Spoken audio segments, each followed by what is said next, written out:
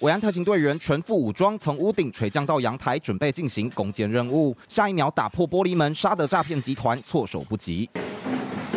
冲进屋内，由上往下展开搜索，一见到集团共犯，立刻要求通通趴下。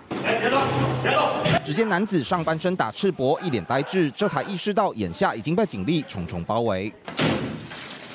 看似普通民宅，其实是诈骗集团的水房。特勤队员里应外合，让里头的集团成员根本无路可逃。刑事局今年二月破获以王姓角头为首的犯罪集团，他们在脸书社团中刊登征才广告，强调只要提供金融账户就可以获得高额报酬。专案小组深入追查，长期布线后，今年六月再度破获该集团的洗钱转账水房，全案高达八十九人受害，不法所得上亿元。专案小组分别在六月与八月分两波执行查缉任务，全案总共逮捕二十名犯嫌，并查扣点钞机、电脑、存折等赃证物。制造假币流，那提供给他们旗下的车手集团，在提领赃款的时候，如果遇到检警查缉的时候，向警方谎称他们是币商。